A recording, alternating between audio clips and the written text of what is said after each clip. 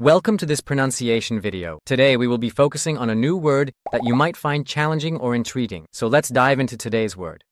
Poka, which means Poka in Russian. let's say it all together. Poka. Poka. Poka. One more time. Poka. Poka. Poka. Thank you for joining us on this adventure in pronunciation. Remember, language is a journey, not a destination. Keep exploring, experimenting, and expanding your linguistic horizons. We'll see you next time.